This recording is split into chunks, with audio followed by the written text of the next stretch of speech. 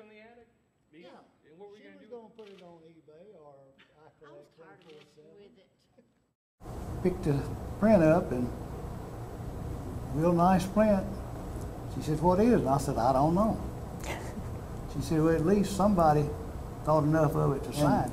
Had to take a magnifying glass because their eyes is bad to read it. And I said, Edward Hopper. She said, who's that? I said, I don't know. A couple more just like that.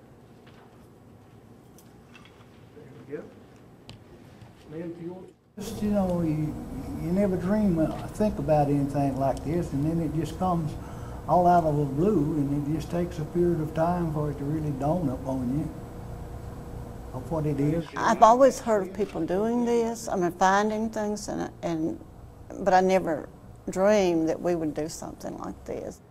All right, here we go, looking right at the camera. Looking right here, here we go.